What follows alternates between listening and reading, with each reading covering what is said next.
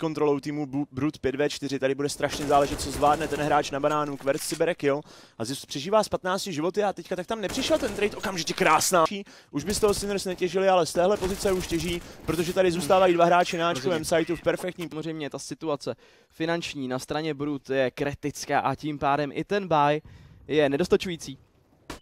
A Sinners opět výborný po flash. To to je zas a znova. Jestli, jestli se chcete na něco u Sinners spolehnout, tak je to perfektní tým. Ale to je přesně to, o, o čem mluví, mluví Neofrag hrozně často, že všichni ho, ho nosí za jeho aim, za jeho fragy, ale strašně málo lidí vidí, kolik, kolik toho jeho teammate obětují. Beastík je prostě na sajtu a jenom tam flashuje Neofragovi, pomáhá mu smoukama a když pak Neofrag umře, tak Beastík tam zůstává sám 1v3. To jsou přesně ty detaily, kteří, který jdou strašně málo vidět, že Neofrag by vlastně nebyl tam, kdyby pro něj hráči nedropovali, kdyby mu tam neházeli hmm. takovýhle pop flashe a je to krásně, krásně to vidět v akci.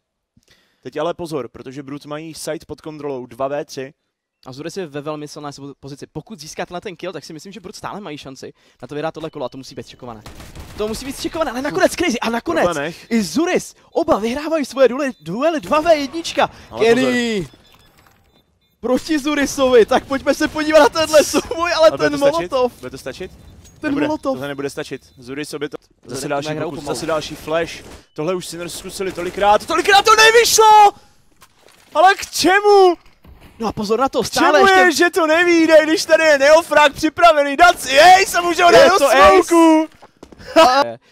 Tohle je asi nejkonzistentnější nový přídavek týmu Brut. On skutečně v celé té sezóně získat důležité kily, ale to se nebí. si dostal už dozad, je to Kverc, Šuplíka, Zuris, kteří půjdou dopředu. Zuris tady prochází teď smoke jako smokey to bandito, ale nakonec je odchycený, nebo respektive ještě nebyl až do tohohle momentu 2-0 pro Sapivého tohleto od tohohle hráče vidět. A mně se líbí, že když už ten spray pustí, což je jednou za uhrák, tak on stejně usprejuje tři lidi. No tady je prostě strašně důležitý to, že ty si tohle to ne... Asi účet. Počítač. Vypadá to, že Sinners běží rychle, absolutně nechtějí nic zdržovat, Neofrag se tady rozlíží ze strany na stranu, je to Freddy, který tady získává velmi, velmi důležité killy a zastavuje ten postup, kdyby tady Freddy umřel, tak by to vypadalo asi jinak, teď už je to v Kenny. Situace 1v3, čeká tady se smokem, nakonec je to výběh ze shortu, už jsem se bál, že tam ještě i Zuris. Říkal, tak to je takový default. Kenny, Kenny tady právě tak jako vyčuchal, že z longu někdo přichází. Tam nevím, jestli Crazy stepnul, ale viděl jsi tu otočku. Z ničeho nic, okamžitě na ten long. Tam je ještě ale podpořený, tam je ještě podpořený podle mě... Z... Ale ten Zurisův flash. No, to nebyl můj flash. Dobrý flash. Získává kill, ale bude vytradován. Tady už nestíhá zareagovat. Tam dokonce Šublík přichází do Molotovu a neočekává, nezván. Nakonec ale to nevypadá úplně dobře, protože kluci tady tak moc se soustředili na short, že zapomněli na monster. Tam přichází Kenny, bere si double kill a zůstává Kverca Freddy. Sinners tady teď vyzvali v tomto kole na agresivní souboj na tom shortu a Brut přijali pozvánku, ale moc se jim to nevyplatilo. Kverca ale perfektně nachází Kennyho do smouku. Zetko Šok teď budou bránit položenou bombu. Kverca Freddy přichází k tomu sajtu. Přesně tak, tam pravděpodobně byla i menší gapa, ale i díky tomu SoundQ moc dobře Kverc věděl, že se aktuálně nacházel tady, krásná hlava očoka, co taky jiného čekat? Protože, protože tam přišel kol, tam přišel kol, stojí mm, na bedně, ale Freddy nakonec získává kill na šoka, zůstává poslední Zetko, ten tady hraje okolo smoku a hello, guess who it is, Zetko! Takže kdyby to mělo být nějaké další overtime, já jsem ready. Ale tady výborně A ten druhý kill taky měl přijít, ale tam se trošku Přesně pohnul. Ten, ten druhý frak měl též přijít, naštěstí tady je ještě šuplík, který je připravený, šok tam vystřelil dost nábojů, 10 nábojů ve zbrani.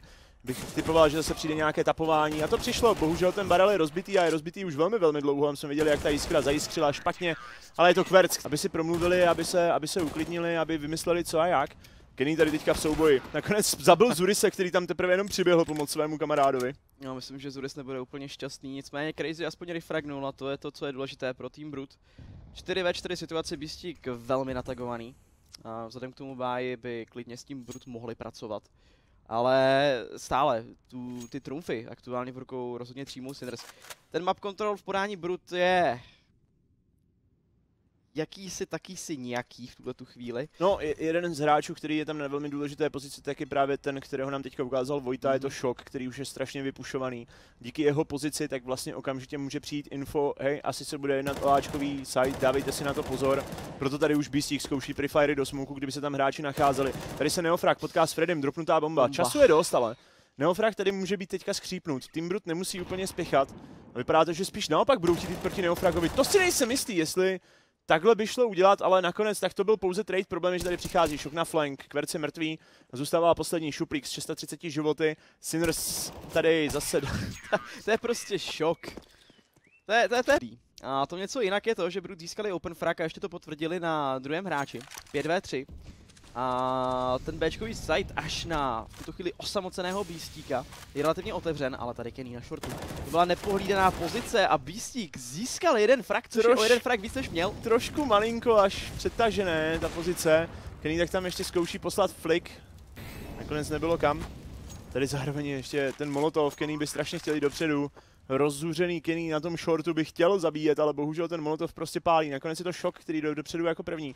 Vypomůže si smokem, ten smoke odzóní jednu stranu. Crazy je tam na 19 životech. Myslím, že v té vodě se nachází Zuris, jestli se nepletu. Si vidím správně, dokážu se zorientovat na radaru, nebo to byl Kverc, ale každopádně teď už hráči Sinners jdou dopředu. Tady je šance na 15. bod, Kenny nachází Kverce, zůstává poslední Crazy a Zuris bomba tak má polovinu odtíkáno, je to Crazy, který zabíjí Šoka a Kenny tak